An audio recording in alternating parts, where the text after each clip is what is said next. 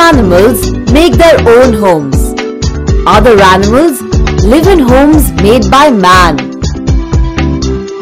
These homes protect them from the sun, rain, cold and enemies. Like animals, man too needs shelter and builds houses to live in.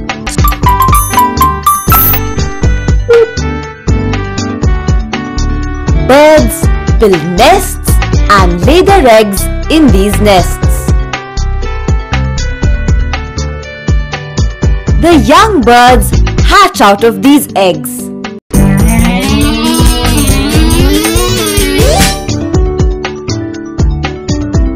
Some animals, like the rabbit, dig burrows in the ground.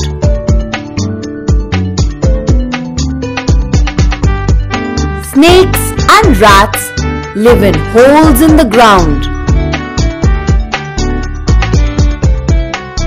Lions live in dens.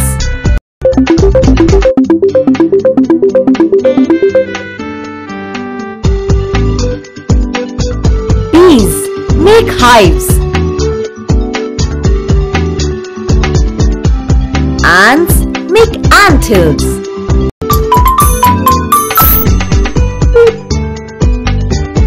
Some animals live in shelters made by man. Cows are kept in a shed.